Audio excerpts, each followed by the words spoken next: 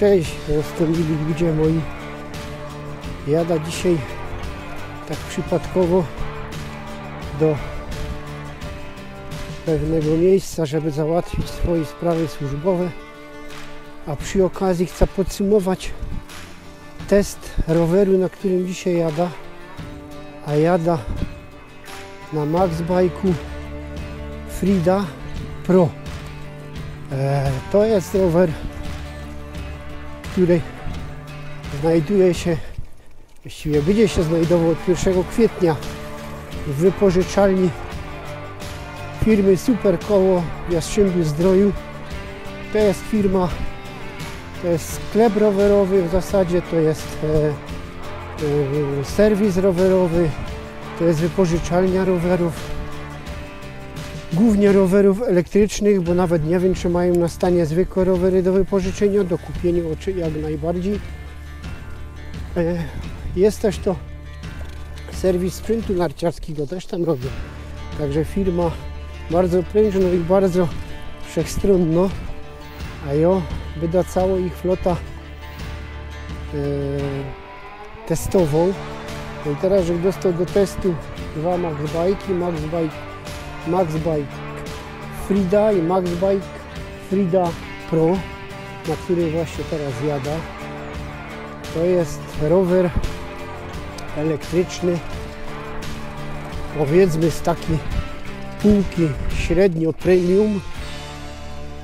Nie jest to najwyższa półka, nie znam ceny, więc o cenę trzeba pytać bezpośrednio w sklepie. Nie znam ceny wypożyczenia. Z tego co mi wiadomo, to w zeszłym roku cena wypożyczenia była 200 zł, w tym roku na doba. W tym roku nie mam pojęcia. A jeżeli chodzi o sam rower, o to jak się sprawuje, to tam też Wam e, zaprezentuję jak się spisywał w górach. Teraz jada bardziej po płaskim.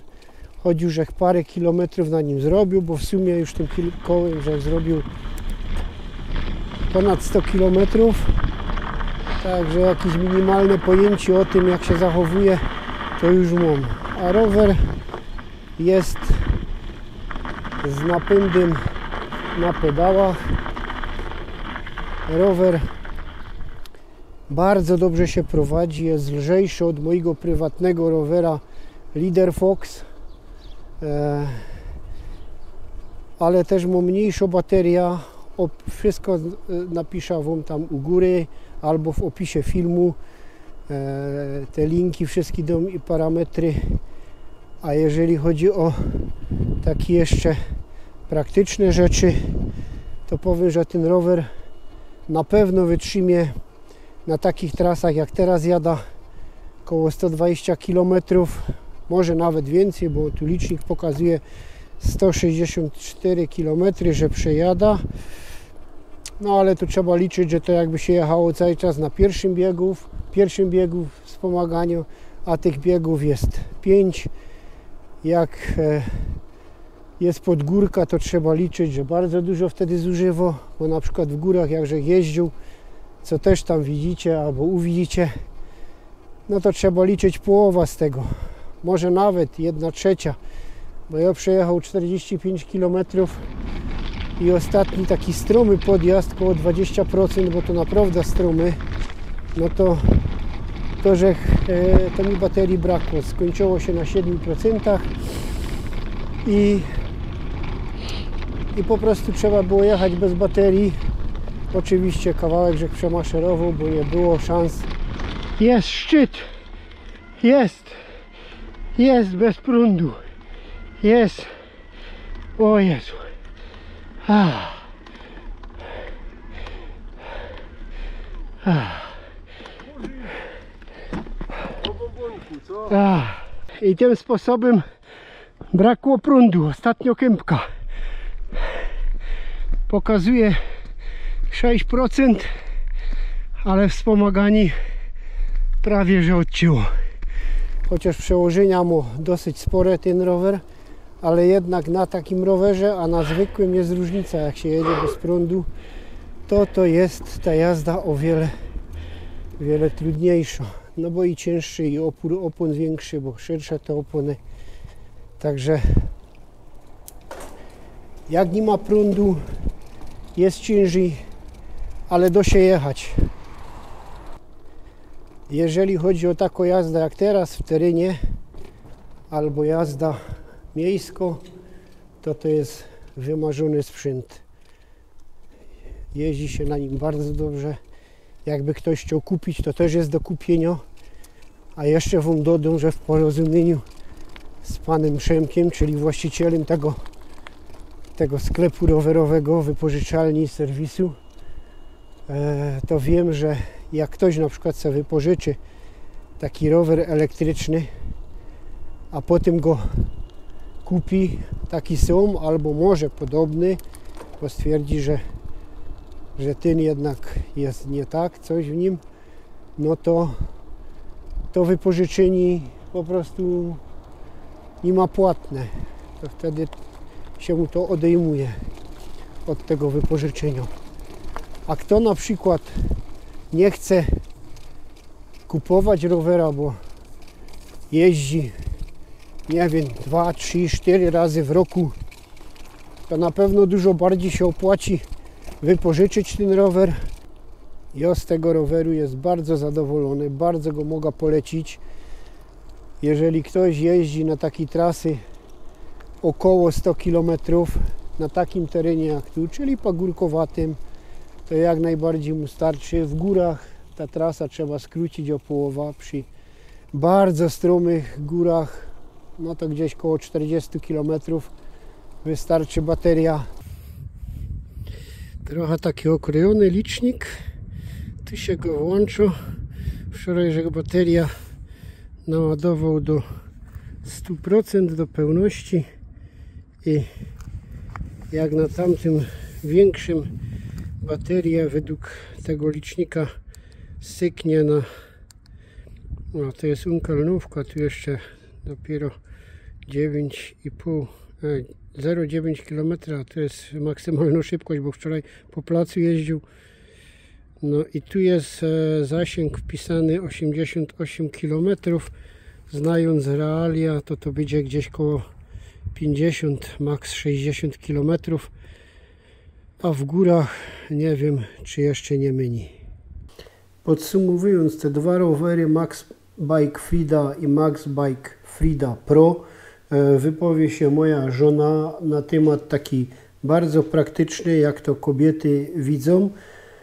I na temat Max Bike Pro wypowie się o sprawach technicznych już e, właściciel sklepu i wypożyczalni Super Koło, skąd te rowery były, pan Przemek. No to zrobiliśmy 50 km i taki pierwsze odczucia. Powiedz mi, jak Ci się jechało na tym rowerze? Bardzo dobrze. Po pierwsze nie musiałam nigdzie się zatrzymywać, gdzie przy wcześniejszym, cięższym rowerze i wyższym musiała się zatrzymywać, jak są te rozgraniczenia dróg gdzieś tam, czy trzeba po, pomiędzy barierki jakieś wjechać, to musiała się zatrzymywać. Tu nie, tu po prostu cisła do przodu, nie trzeba było się zatrzymywać. Czuję się na tym rowerze bardzo bezpiecznie. Jeżeli chodzi o y, wielkość i ciężkość roweru, jest dostosowany do mojego wzrostu, a mam 1,58 m, czyli e, do osób niższych. I... Dodam, że, no. sorry, dodam, że to jest rama 16, dlatego e, e, też jest chyba o wiele lepiej się chyba nim jedzie, nie? E, bardzo dobrze i jest lekki, jest lżejszy od wcześniejszego, który żech e, testowała, także dla mnie mega, bardzo, bardzo dobrze się jeździ, bardzo dobrze. Polecam. A jak się go prowadzi? Dobrze. Dobrze. Dobrze się go prowadzi. A, czyli jednak i rower, ciężkość roweru, rurka, rama, rozmiar roweru mają bardzo duże znaczenie, jeżeli chodzi o jazdę dla osób, które nie robią tego wyczynowo i do wzrostu też trzeba dopasować ten rower. No ale przede wszystkim, co jeszcze jest ważne, bardzo często jeździłam na jedynce, nie trzeba było jakby zwiększać y, mocy tego roweru, gdzie przy wcześniejszym rowerze jedynka do mnie to było za mało, bo ten rower jakby sam w sobie był ciężki i, bloko i się blokował, a ten jechał jak po maśle. No, a porównujemy go do roweru Leader Price Bend e, i on woży, są ten rower 27 kg, jak Renata jeszcze jechała z sakwami z obciążeniem, czyli 30 kg. Poza tym tu są inne opony trochę. W tym dlatego też się łatwiej trochę jedzie. Dzisiaj my nie jeździli po wertepach, bo jest mokro, ale jeździło się bardzo dobrze. Ja mam tego samego, ten to już żeście widzieli, to będziecie widzieć potem na moim kanale, kto będzie ciekawy, to będzie oglądał. Czyli I przy, przepraszam, ile ten waży, Franku? nie wiem, nie wiem, ale napiszę tu pod tym filmem będzie napisane Bo wszystko i moc i- baterii. No tak. na pewno jest słabsza bateria niż Live- Li- Leader Foxie. On zrobi gdzieś połowa tego, ale dla kogoś, kto robi trasy po 50, 60, 70 km, to on na pewno zrobi na takim żelaznym szlaku.